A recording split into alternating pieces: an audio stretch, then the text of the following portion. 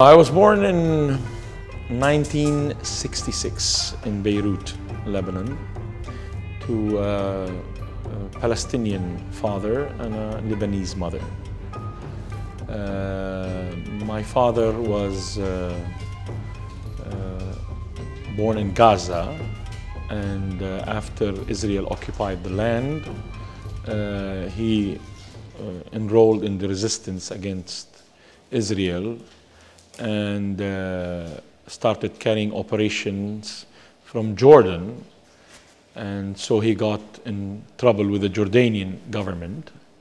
And he had to leave Jordan and go to Lebanon. And there he met my mother. And they got married. And then he left before I was born. Uh, my mom uh, had to work day and night. So, in practically speaking, I was a street kid. Uh, I was always on the streets, and I would just come home to sleep. Uh, uh, in the neighborhood where I was, there was an evangelical church, and the uh, teachers of Sunday school in that church used to go around the streets and call children to come in and uh, attend Sunday school. Uh, so I was one of the guys they invited and for a street kid, uh, he's always looking for attention. So uh, I uh, accepted the invitation and came in. And Sunday school turned out to be a nice place for me because there they tell you stories, you can color, they give you toys, uh, you can eat cake and have juice. And it's, it's a good place for a street kid to have a, a good time. And so since I was six, I remember attending Sunday school regularly every Sunday. Uh, it was, uh, it's like going to church uh, for any uh, churchgoer. to me, Sunday morning was sacred. I need to go to Sunday school. There I have a good time. And uh, uh, this was going on until I was 14 years old. At the age of 14, I was ready to meet my Savior. Now, uh, two years before that, questions were starting to arise about where is God, who's God, why I am a Muslim, where is my father. Uh, you have to understand the background that I was living in. I was living next to the American University of Beirut at a time when there, are, there were revolutions going everywhere, communism rising, uh, the Cold War was at its peak. Uh, already uh, there was an Israeli uh, Arab conflict in 1973. A peace was looming in the, uh, in the, on the horizon. People were talking, students were talking. It was really a time where uh, easily you can mature on the streets, being on the street. And uh, mingling with the uh, university student made me really mature quickly. And at the age of 12, yes, I was asking critical questions. At that age, uh, I turned to Islam being a Muslim. And especially my family, uh, you know, on my mother's side, uh, they are all uh, scholars, Islamic scholars. So uh, I started reading the Quran, I started taking Quranic lessons in order to find uh, certain answers to questions I had. but to no avail nothing was there for me. I didn't find hope. I, was more confused more. Uh, there were a lot of contradictions that I could not accept. And uh, also remember, I was free to think. I was not under any influence of a father or a mother to tell me, don't think like this, or this is not right what you're talking about. I was a free thinker. I could ask questions, I could doubt, and I had no problem. And so uh, it was at that time also I was going to church and attending Sunday school. And uh, at the age of 14, after hearing the gospel for six years and more, uh, just things clicked. I found the truth as if the Lord opened my eyes to see my uh, state exactly and to give me answers to why I am uh, like this, why I was like this, why did my father leave me, why there are wars around, why is the world the way it is. And I realized it is uh, my sinfulness, my parents' sinfulness, uh, the world around us uh, that brings misery and suffering to people. And uh, it was Christ who's the answer.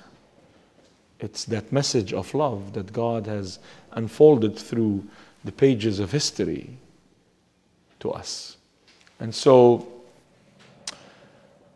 I remember on a Sunday in 1979, the Sunday school teacher asking us in Sunday school class, who wants to accept Jesus as his personal Savior? And I felt like raising my hand, but there were too many friends of mine who were Muslim, and I didn't want to, you know, risk it. And I said, no, I'm not going to do it now. But uh, deep down, I was there. This is it. I could not resist anymore. And I went home and I could not sleep that night. And I would fidget in my bed, and my bed was a bag of cloth, plastic bag of cloth. And every time I move, I make all kinds of sounds. And my, I was afraid to wake up my mom. We all slept in one room. And uh, around three o'clock, I remember in the morning, I just said, Lord Jesus, please help me. I am desperate. I am helpless. I am hopeless. I cannot take it anymore. I need you. And with tears at that time, and then within half an hour, I slept. And I woke up in the morning excited. And I took one of the many New Testaments I had. I mean, after eight years of attending Sunday school, you gather, collect a lot of New Testaments. I took one and put it in my school bag and went to school and started telling people about my experience. And I could not be quiet. It was Jesus all the way. I mean, on the street, in school, at work, in the house, Jesus, Jesus. And people were saying, Did this, this guy flip or something happened to him? Did he fall from his bed at night? Or uh, everybody was wondering why this was happening. I was on fire at that time, and uh, I couldn't be quiet. I had to talk. I had to tell people what happened with me, the change. Uh, uh, I think, uh, and I can understand people, children who raised in Christian homes and churches. Uh, and wherever I go and speak today, I tell them please do not miss out on meeting the real Jesus, not that, the one that your papa and mama told you about. Uh, have the experience I had. You know, it, it just just life changing. It was uh, a time where, beyond comprehension what was happening in my life. Uh, there was uh, joy overflowing. I felt at rest. I felt at peace. Uh, all the answers came to the questions that made my life a dilemma and were traumatizing me. Because being raised without a father is traumatizing to you. And if, if you don't find the answer why this happened in God, you cannot understand. And I understood why. Because God wanted to save me. God had a plan. Everything worked for good. Uh, uh, eternal good, not earthly good. And while I was lost in my livelihood, that it's not good, and I had no father, God was really interested in my eternal good. And the joy that I experienced in meeting Jesus was much greater than having a father at that time. And so from there on, it was Jesus all the time, and that got me in trouble. Uh, definitely speaking on and on uh, got me in trouble with my parents. They had to kick me out and say, it's either the church or the house. It's either Christ or us. And uh, I was so in love with Jesus, uh, I didn't have difficulty making choice. Uh, it was Jesus all the time. And I had to leave the house and go live in a warehouse where I used to work. Uh, the owner of the warehouse knew about what happened, and he said, Mohammad, you can empty a room uh, pack it in another room and take one room and fix it and sleep in it as long as you want. And uh, later, I got in trouble with fundamentalists because I was always speaking about Jesus. And who's this Mohammad that is uh, preaching about Jesus, that's evangelizing about Jesus? And uh, they were after my tail. They tried to kill me one time. Uh, uh, they had no success. Uh, my pastor had to take me to his village. Uh, he was from a village in Byblos area. It's called Munsif and he put me in a boarding school there for six months to hide me. And then uh, after that, I came back, and still I went back to talking, and I couldn't be quiet. And he telling me, "Be quiet," and I cannot be quiet. Everywhere I go, uh, the opportunity is there. I tell people about Jesus. Uh, I invite people to church. I start ministering to children. And uh, until 1985, towards the end of 1985, uh, I was in the evangelical school in Beirut, and there was a teacher there. He was a member of our church. And together we used to go out street evangelism. And they killed him. And the pastor said, You're next. I'm not going to allow this. So he made connections uh, with uh, friends of his in, in the States, uh, in Bob Jones University in Greenville, South Carolina. And he said, I have a guy, his life is in danger, I need to ship him out. Arrange for him something. And they arranged for me to come and attend Bible school. And so in 1986, I flew to the US. I remember I came uh, through Heathrow Airport. I flew to London first. And uh, then from London, I flew to Philadelphia, and Philadelphia down to Greenville, Spartanburg. That was the trip the first time in the United States of America was in 1986 to uh, uh, pursue a biblical career, you know, to study Bible and maybe to uh, be uh, carry on pastoral studies or uh, biblical uh, theology. but when I started my first semester, uh, I got all A's, and uh, I thought that was too easy for me. Uh, and that's because early on, I was devouring the Bible. I mean, I was reading my word, God's word on a daily basis, listening to messages. I was heavily involved in studying the Word of God. I'm reading books, a lot of books. And so I switched into business and uh, I pursued an accounting degree. And uh, in 1989, I took a BS in accounting. And uh, before my last semester, I was offered a job uh, by Arthur Andersen to work in New York, and then another job by Price Waterhouse to go to Cairo since I knew Arabic. But uh, somehow the Lord uh, did not let me take these offers and did not let me stay uh, in the US. Uh, I felt I need to go back. I don't know why I felt I need to go back. Uh, at times, God uh, leads in, a, in, an awesome way, though everything here was ready for me to stay. I mean, uh, there was a girl uh, I was in love with. I could have gotten married to her and stayed.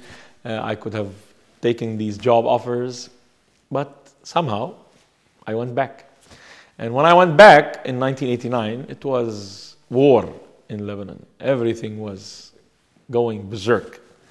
And uh, the airport was closed. I had to fly to Cyprus, and from Cyprus, take the ship to Jounieh, and from Jounieh, drive to West Beirut.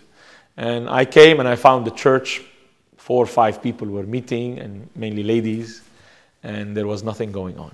No church meetings, barely anything happening. So Mohammad went back to his old days, preaching, evangelizing, visiting, ministering to people. And within a year, the church regrouped and people were starting to come and things were moving up in the world. And uh, the church grew.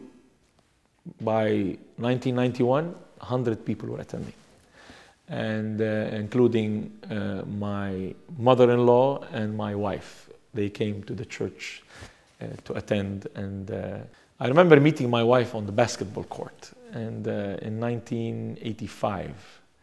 And we played hoop together. I used to go down to the American University of Beirut. She used to live on the campus of the American University of Beirut. Her father was power plant manager. And as we were playing together, I would always talk to her about Jesus. And she said, You're crazy with your Jesus. I don't want to talk to you. Leave me alone. And I was always evangelizing to her. And then in 1991, she comes to church and with her mom, her mom invites her. She came before her a few meetings. And she says, Come here, this guy. His name is Mohammad and he's preaching about Christ. And he's leading the church. And she came and she says, I know this guy. He was always bothering me with Jesus when I was playing basketball. And uh, a relationship developed there, and uh, she got saved, I think, uh, four months after started attending church. And then we dated for a year, and then we got married. Uh, the pastor came back at that time, and I handed the church over to him, and I went into business. Uh, being raised as a street kid and poor, there was always a desire in me to achieve to prove myself. There was ambition. And uh, I wanted to pursue that dream. And I was trying to convince God of that dream. God, since the day He saved me, He called me into the ministry. I knew that. He gave me the talent, He gave me the burden, uh, He gave me the vision to reaching out to people. But I refused to answer God's call. I wanted to do it my way. I said, I'll be a businessman and I will support the church and I will give to the poor and I will help missionaries. And in fact, in my early years in business, uh, at the age of 25, I had close to a half a million dollar between assets and cash and everything. And I had my own factory and store, and I owned my own house in a good place in East Beirut. And uh, things were rolling for me, and I was giving to people. I was helping people. Uh, I mean, uh, there were times a thousand dollar a month I would give out to people between church and helping people. Uh, and I was trying to convince God that this is the way. And God was always telling me, I don't need your money. I don't need your intelligence. I don't need anything that you have. I need you to obey. Give me your heart. And that was difficult for me because there was a struggle. And I was in love with business and I was in love with Jesus. Uh, there was a conflict there and there was a struggle all the time in my life. Uh, and uh, God was patient with me. Until 1995, he got the big stick out. He says, I love you too much and I have plans for you. I'm not ready to leave you alone. So he got the big stick out and I took a beating, big beating. And within years, few years, I lost everything. I was stripped naked. Uh, I was in debt. Uh, I went to prison because I went bankrupt. Uh, I was facing many lawsuits. I had all kinds of problems going on. And uh, after I went to prison for six months, I came out. And instead of answering God's call and repenting and saying, Lord, that's what I want to do, is what you want me to do, I went back to business. I was hard headed uh, as an ox. And uh, again, God gave me the talent. Uh, in a few years, I made money again. And I was paying some of my debts and at the same time building a business. And it was growing and we were doing fine. Until 2008, uh, one day I was taking my children to school. I dropped them at school and I used to go down jogging at the beach in Beirut. And as I was jogging, it just clicked again. The same feelings, the same uh, uh, situation I was in in 1979 when I got saved, I was back again in, in 2008. I felt how stupid I am, how foolish I am to relinquish serving the Lord for the world and for the profit that I can get from the world and the gains of this world. And I said, This is it. Finish. No more business. I went up to my wife and I said, Honey, close shop, liquidate everything at a gain, at a loss. That's it. It's over. She said, What? Did you flip? Are you crazy? We have five children. What do you mean close shop? How are we going to raise our children? How are we going to live? We have no income. I said, The Lord will provide. Just close it. She said, No, I'm not going to close it. I said, Then you'll take care of it. I am not going to be in the shops. I'm not going to work one hour in the shops. I will be on the streets telling people about Jesus. This is what God wants me to do. That's what I'm going to do. And uh, I went out and she started liquidating a little bit. She liquidated until she we had only one shop, and that's the bookstore. And she stayed in it, and I was ministering on the streets and uh, doing street evangelism in Tripoli, in Beirut, in Jounieh, in Byblos. And God led us down to Tyre one day. And we went down to Tyre to evangelize. Uh, and uh, I fell in love with the place. Uh, and, you know, Jesus was here 2,000 years ago. He came to Tyre. Paul the Apostle was here. Uh, this is the land of the gospel. You know, Upper Galilee, this is where Jesus was going around and telling people about Jesus. And there is no lighthouse, it's dead.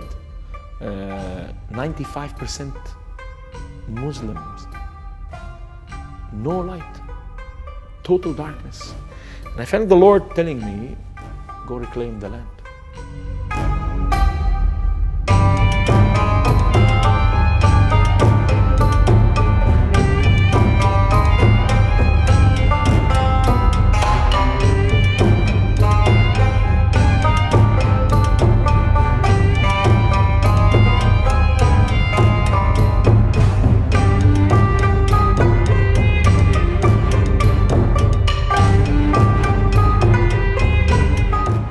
Devil, through uh, Islam, has controlled the whole area. Uh, and uh, we're there uh, to shine for Jesus and to release people from this bondage that they are in. And so, yes, we are in the devil's den preaching Christ. Uh, when you are in a 95% Muslim area, where is the light there? There is no light. Uh, and uh, that's what God has called us for. And I think uh, in the last 50 to 60 years, meager efforts have been taken to reach the Muslim world to Christ. And I can understand why, because people are Islamophobic. Uh, Islam is violent, it promotes violence uh, on different levels. It depends on the circumstance and what's around it. Uh, and uh, people are afraid. Uh, but I do think that we have a weapon that is much greater than violence and can overcome violence, and that is love. Most of the times, we either want to love and not in, in, in sincerity, or we want to say the truth and not love. Uh, I do believe that in evangelism, love and truth go together. If you love people without any reservation, unconditionally, sacrificially, you will be able to stand and say the truth to them. They will accept it from you because they know that you love them. If you don't love them and you want to say the truth, they're not going to accept it from you because they think you're a hypocrite. You're saying something and you're acting differently. Uh, what we do in Tyre today is we love on people. Uh, we sacrifice. They see that we go not one mile, but three miles.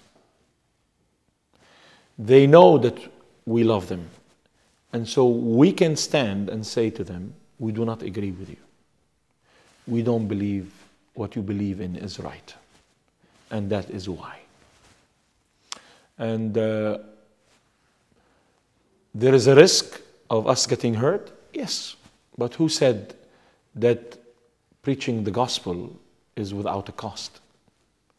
Uh, Jesus said, In the world you shall have tribulation. But be of good cheer, I have overcome the world.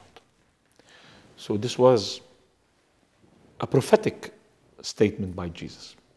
He, before we even went out, he told us we're going to have problems.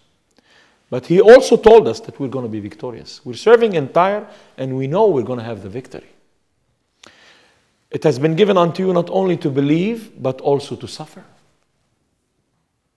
If any man would come after me, let him take up his cross, deny himself, take up his cross, and follow me. So it's clear in the Bible that when you evangelize, when you tell people about Jesus, you're going to suffer. Now, if God's grace does not permit that for a reason or another, that's good. My wife and I went down to Tyre and we counted the cost. She knew that we could die, and I knew that we could die, and we both knew that our children could be in jeopardy. But we also knew that the God who called us and the God who sent us, He will take care of us, He will protect us. And if the time comes and we have to be offered up for Him to be glorified, then we had no problem with that. That was the mindset that we went down to Tyre with. Uh, there were times uh, they put me in prison because I clearly declared that Islam and Christianity are not the same and they don't lead to the same God. And if you understand anything about Lebanon, this is a no no because you're rocking the boat. Everybody wants to live happy with each other in Lebanon. And I stood on public TV in front of six million people and I said, Islam is as far from Christianity as hell is far from heaven. And that was enough to put me in prison. They made a scheme about my past and they rolled me in. But I knew that. That was a cost I would pay.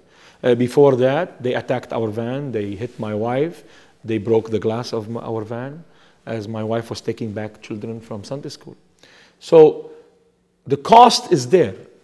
Uh, a few days ago, they broke our signs in, in, in Tyre because one Muslim guy was converted and he openly and publicly declared that I'm a Christian. So to me, persecution is part of the game. And uh, any Christian who thinks he can avoid persecution, I think that is not possible. As you, we've said before, we are in the devil's den. You're attacking the fortress of the devil. The devil is not going to kiss you if you attack him. He's going to attack back. He's not stupid.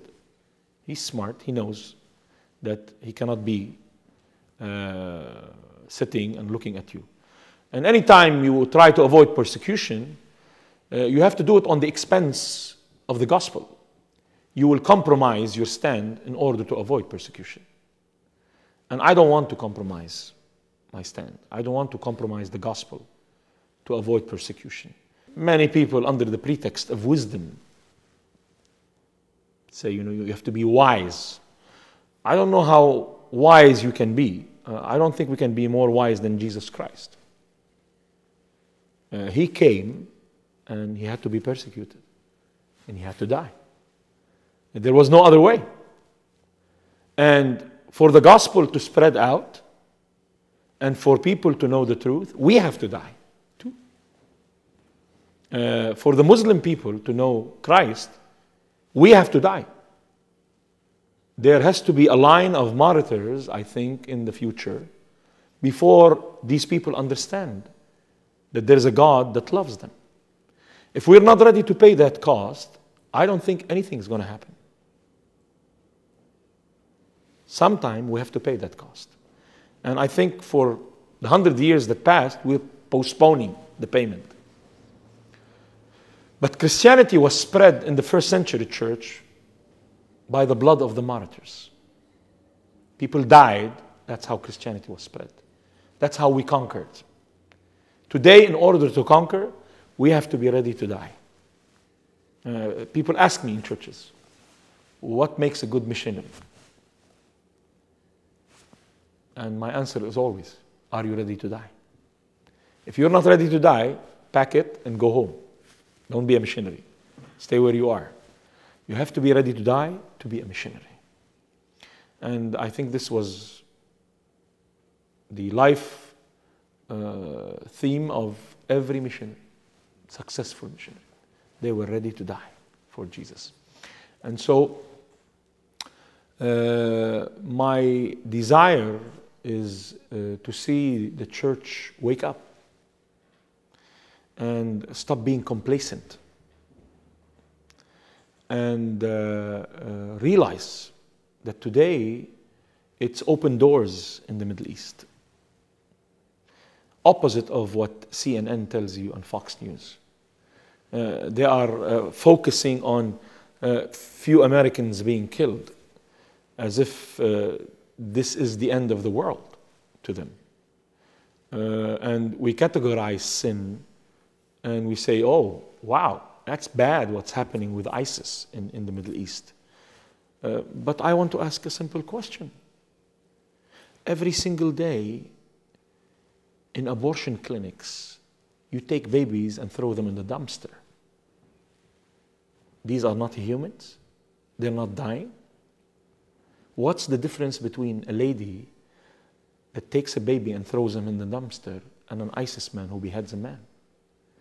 In fact, what did this infant have of a choice? He had no choice. You killed him. The guys who died in, in, in Syria or beheaded, they had a choice not to go. They chose to take that adventure, and that was the price for their adventure. And so we categorize sin in order to excuse ourselves. It's bad in the Middle East, we can't go there because they kill people. They kill people in America. These people, they need us. They need us to love them. And love is intentional, it's not natural. It's not in our nature to love. We're selfish. We have to intend to love. We have to seek a way to penetrate into their societies and love them, just like what we're doing in Tyre we take every opportunity to show love. Every opportunity.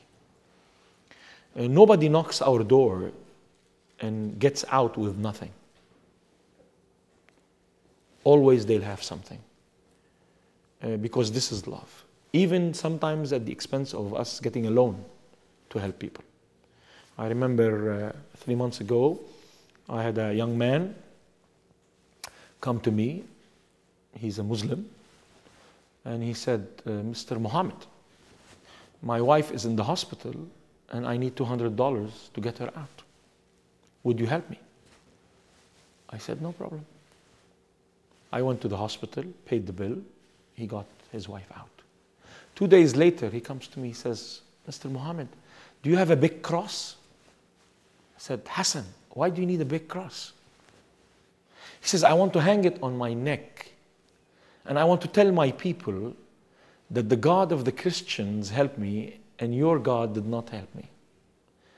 This gives God glory. See, this is why we're there to glorify God, to honor Him and lift Him up. That's why we're there.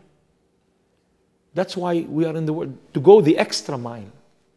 Uh, I think people are tired of us telling them Jesus loves you. They want to see how Jesus loves me. Show me how Jesus loves me. You know? Uh, I want to see how. And I think we're very good at speaking the truth, but not applying it. Uh, and uh, we don't want to apply it. We think that it's enough to tell people the gospel. That's not true. Because this is not what Jesus did. Uh, I remember the disciples, after Jesus finishing his intercourse with the multitude, uh, they said, Okay, chief, let's pack it, send them home.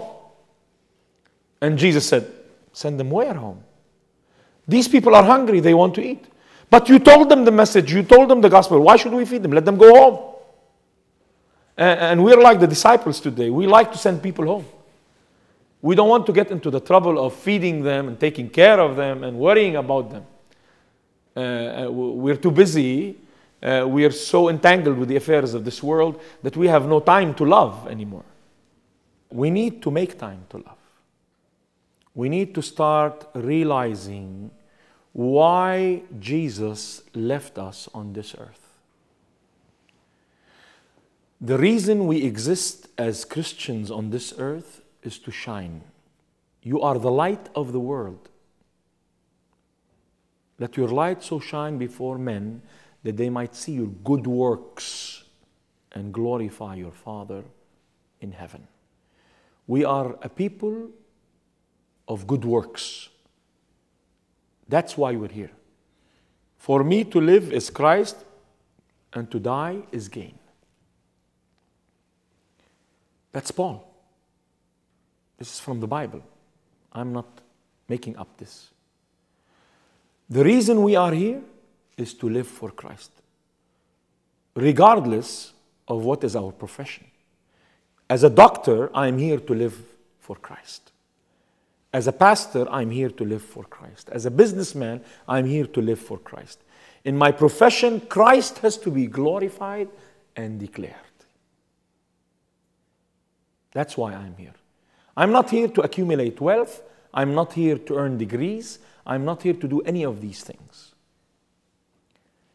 Today in the Middle East, it's open doors. The Muslim world is in despair. The brothers are killing each other. Young people are helpless and hopeless. They are looking for an alternative. The alternative is not there because we are afraid. We need to start bringing the alternative home to them. We need to go. We need to start invading the Middle East with love, not with cruise missiles. We need to erect lighthouses for Jesus Christ.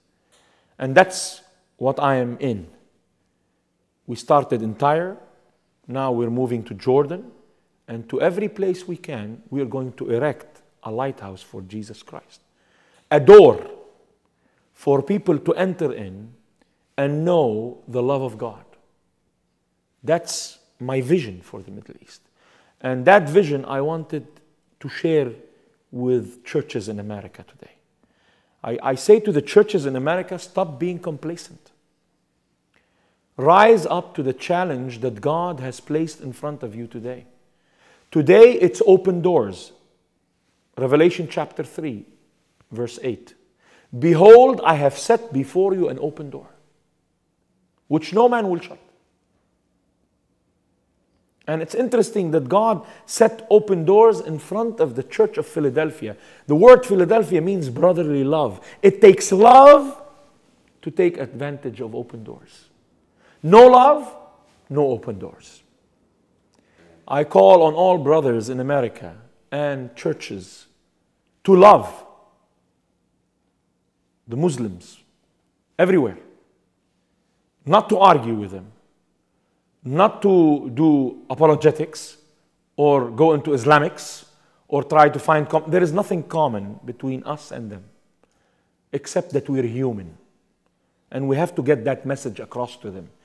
The thing that is common between us and any other person is that we are humans. We do not have the same faith and we do not lead to the same God. Our God is a living God, is a holy God, is a righteous God who loves all people. That's the message that we can get across. Uh, uh, Christianity has the, is the religion that has a message that no other religions have. Our message is love. Love unfolding from Genesis to Revelation. It's the story of love. How God loved man and worked throughout history to redeem man. And how he's going to glorify man in eternity. It's a story of love. And that message, no other religion in the world has that message. What we find in other religions is do's and don'ts. We do not find love. And people cannot understand and comprehend love. People cannot understand that God in human design came to earth to love us. They cannot comprehend that. And I, I, can understand why.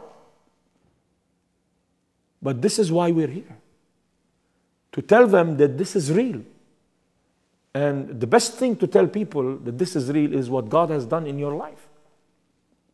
And to live that story. And so, my desire is that we see the urgency of the times. These people in the Middle East are calling us. God uses the suffering of people and pain. He opens doors through suffering and pain so we can enter their lives. Today, the Syrian crisis has resulted in millions of refugees. In Lebanon, we have two and a half million refugees. And God is opening doors through them and with them. We're seeing hundreds of them come to church and hear the gospel and get saved. What we need is laborers. We need laborers. We need people to support the work. We need people to stand by us in prayer. Uh, uh, containing Islam is not in the backyard in Chicago. Containing Islam is at the front line in the Middle East. That's how we contain the antagonism and the violence and the hatred that is there. We have to go there uh, at the expense of our lives sometimes. But God is good. I, am serving there, and uh, it's six years now. And before that, I used to evangelize, and God has protected me. I am 49 years old. I don't know when the Lord will call me home, but whenever He does, He knows what He's doing. And I want to be obedient to that. But I know also that before God calls me home, nothing is going to happen. I know that He has a hedge of protection around me and my family. And at any time something happens, it's for His glory. I know there is something for Him to be glorified in. And for God to get the glory, I want to evangelize. Uh, I do believe that God is most glorified when we most evangelize. I think we've missed out on that. God is most glorified when we most evangelize. Not when we build mega churches, not when we have beautiful concerts, but when we evangelize. We go out and tell people about that great message of love that no other religion in the world has that could change and transform your life and makes you a new person and brings life into your life, wakes you up from the dead. And so I pray that this message will be heard and people will wake up to what is there. Thank you.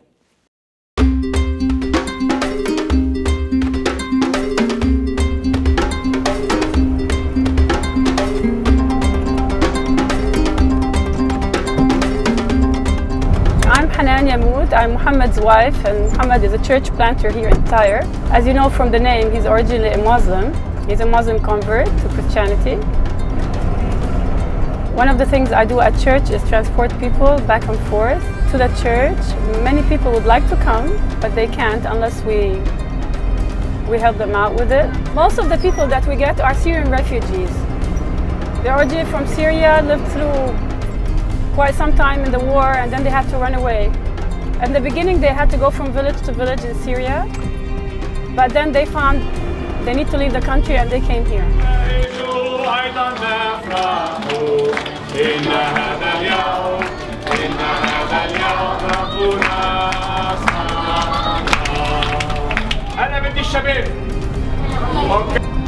We paid heavily for that sign that you see in Tyre today, Tyre Center for the Gospel Proclamation. We could have put there Tyre Center for English teaching. That's so easy to do that and avoid all the problems. But we wanted to tell the people that we are here to preach the gospel. We are here to share Jesus Christ with them. We are not here to teach them English. The focus of our ministry and of any ministry that we do is to plant a church, a lighthouse for Jesus Christ.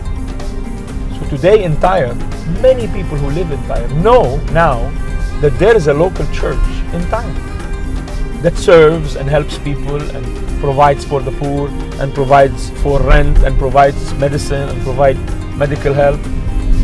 And that in itself is a testimony for Jesus Christ.